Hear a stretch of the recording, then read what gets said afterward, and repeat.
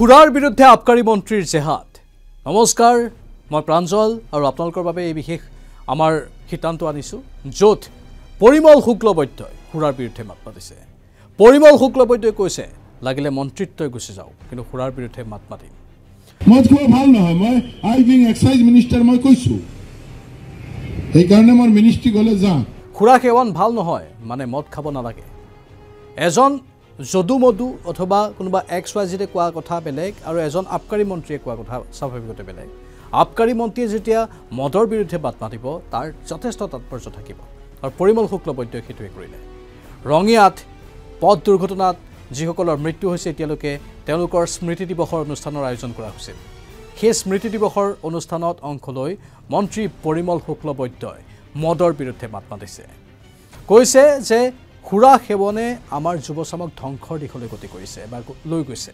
সুৰা সেৱনৰ ফলত পথ দুৰ্ঘটনা বৃদ্ধি পাইছে। সুৰা সেৱন কৰি গাড়ী চলোৱাৰ ফলতেই ৰাস্তাত বহুকেইটা দুৰ্ঘটনা সংঘটিত হৈ আছে। বছৰ বছৰ ধৰি সংঘটিত হৈ আছে। কিন্তু তাৰ পাছতো সুৰা সেৱন কমা নাই। চৰকাৰে নতুন নতুন আইন প্ৰণয়ন কৰিছে সুৰা সেৱন কৰি গাড়ী নচলাবলৈ। কিন্তু সমান্তৰালভাৱে মদৰ দোকানো বৃদ্ধি পাইছে। আৰু অকপত স্বীকাৰোক্তি মন্ত্ৰী পৰিমল শুক্লবৈদ্যৰ।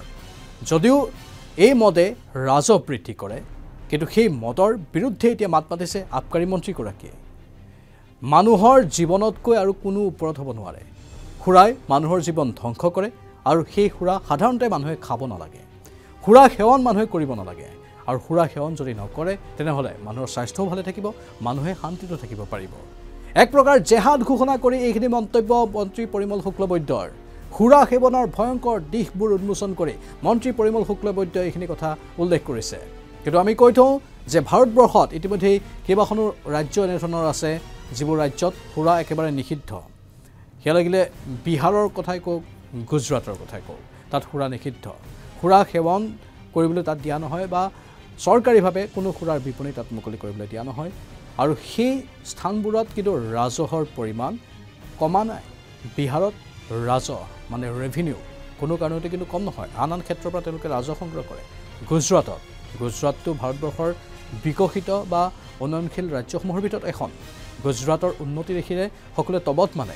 আমাৰ অসমৰ মুখ্যমন্ত্ৰীয়ে কয় যে আমি গুজৰাটৰ দৰে উন্নতি কৰিব লাগিব। আমি গুজৰাটৰ দৰে বিকাশ কৰিব লাগিব। সেই গুজৰাটত কিন্তু সুৰা নিষিদ্ধ। মানে তাত সুৰাৰ কোনো দোকান নাই। তাৰ পৰা অৰ্থাৎ সুৰাৰ পৰা সেই ৰাজ্যখনে কোনো ৰেভিনিউ নাপায়। কেৱল বিদেশী অতিথি বা আন ৰাজ্যৰ অতিথিৰ বাবে বিশেষ কাৰ্ডৰ ব্যৱস্থা কৰা আছে। সেই কাৰ্ডৰ অনুসৰি মুষ্টিমেয় একাংশই তাত সুৰা হোটেলত থাকিলে সেৱন কৰিব পাৰে বা সুৰা কিনিব পাৰে কিন্তু তাৰ লোকেল মানুহবোৰৰ বাবে স্থানীয় লোকসকলৰ বাবে সুৰা যোগান ধৰা নহয় বা সুৰা তেওঁলোকৰ বাবে নিষিদ্ধ তাত কোনো সুৰাৰ বিপণী তেওঁলোকৰ বাবে নাই। মানে আমি পোনপটীয়াকৈ ক'বলৈ যাওঁ যদি গুজৰাট বা বিহাৰত সুৰা পৰা ৰাজহ তেওঁলোকে নাপায়। মানে তেওঁলোকৰ ৰাজকোষ সুৰাৰ জৰিয়তে টনকিয়াল নহয়। তেতিয়া পৰিমল শুক্লবৈদ্য অসমৰ আবকাৰী মন্ত্ৰী তেওঁ যিখিনি কথা ক'লে তাৰ যথেষ্ট তাৎপৰ্য আছে। অসমতো হয়তো আগন্তুক দিনত সুৰা নিষিদ্ধ কৰাৰ কিবা বিশেষ পদক্ষেপ ল'ব পাৰে নেকি?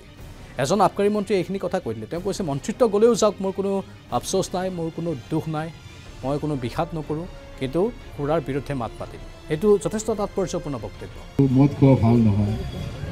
ভাল হয় কোনে কয় হাত দাঙকচোন আপোনালোকে। যে মদ খোৱাটো ভাল গাখীৰৰ নিচিনা বস্তু। হে? মদ খোৱা ভাল নহয় মই আই বিং এক্সাইজ মিনিষ্টাৰ মই কৈছো। সেইকাৰণে মই মিনিষ্ট্ৰী গ'লে যাম। খাইছা বাপু? ঠিক আছে? নিয়ন্ত্ৰণে খোৱা? নিয়ন্ত্ৰণে খোৱা। তোমাৰ হাত ভৰি কাঁপি আছে। মদ খোৱাৰ পাছতে আকৌ ষ্টিয়াৰিং বহিলা। তুমি কোন মধুৰী হে? জীয়াই নাথাকিলেতো কালি সিটোও না খাব নোৱাৰিবা। আকৌ যদি মদ খাব লাগিব লাগে তেনেহ'লেতো জীয়াই থাকিব লাগিব নহয়। কিন্তু মানুহে এই কথাবোৰ মৰ্মে মৰ্মে উপলব্ধি কৰা প্ৰয়োজন। এজন আবকাৰী মন্ত্ৰীয়ে সুৰা সেৱনৰ বিৰুদ্ধে মাত মাতিছে। সুৰা সেৱনৰ অপকাৰিতাৰ কথা কৈছে। সুৰাই মানুহৰ স্বাস্থ্যত কিমান অপকাৰ কৰে সেইখিনি সেইখিনি কথা কৈছে। কিন্তু সাধাৰণ মানুহে জানো সেইখিনি কথা বুজি পাব। বা চৰকাৰৰ আন মন্ত্ৰীসকলে জানো সেইখিনি কথা বুজি পাব। বা মুখ্যমন্ত্ৰীগৰাকীয়ে এই কথাটোত কেনেধৰণৰ প্ৰতিক্ৰিয়া প্ৰকাশ কৰিব। মুখ্যমন্ত্ৰীৰ তৰফৰ পৰা সুৰা নিষিদ্ধ কৰাৰ কিবা ব্যৱস্থা আগন্তুক দিনত হ'বগৈ পাৰে নেকি? স্বাভাৱিকতেই অসমত সুৰা সেৱনকাৰীৰ সংখ্যা বাঢ়িছে আৰু মদৰ দোকানৰ সংখ্যাও বাঢ়িছে। বিভিন্ন প্ৰান্তত মদৰ দোকানৰ সংখ্যাই বেছি ফাৰ্মাচীতকৈ ফাৰ্মাচীৰ সংখ্যা যদিও আছে কিন্তু বহু স্থানত আকৌ মদৰ দোকানৰ সংখ্যা ইমান বেছি। আপুনি ৰাস্তাৰ বিশেষকৈ গুৱাহাটী মহানগৰীত যদি পৰিভ্ৰমণ কৰে তেনেহ'লে মাত্ৰ এক কিলোমিটাৰৰ ব্যৱধানত আপুনি হয়তো দুখন মদৰ দোকান পাই যাব পাৰে তাতো আচৰিত হ'বলগীয়া একো নাই। সেই মদৰ দোকানবোৰত ইমান ভিৰ থাকে ভিৰ দি বাট নোপোৱা অৱস্থাৰ সৃষ্টি হয়।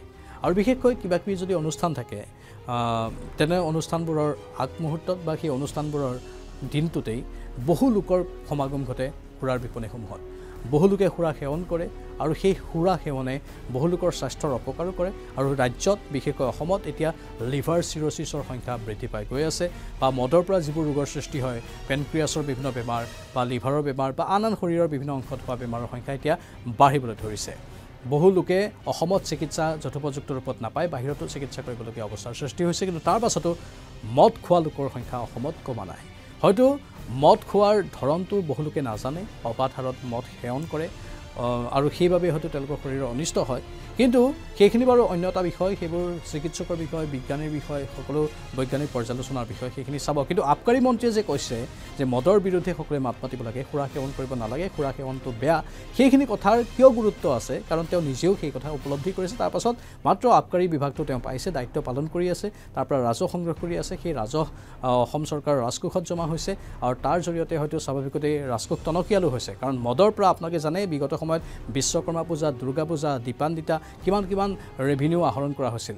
খুদ গুৱাহাটী মহানগৰীতে কোটি কোটি টকাৰ মদ বিক্ৰী হৈছিল। সেইখিনি বাতৰি আমিয়ে সম্প্ৰচাৰ কৰিছিলোঁ। মদৰ পৰা স্বাভাৱিকতে ৰাজহ আহে কিন্তু সেই ৰাজহক বাদ দি অন্য ৰাজহৰ কথা বিকল্প ৰাজহৰ কথা চিন্তা কৰি মদৰ দোকানবোৰ বন্ধ কৰিব পৰা নাযায় নেকি?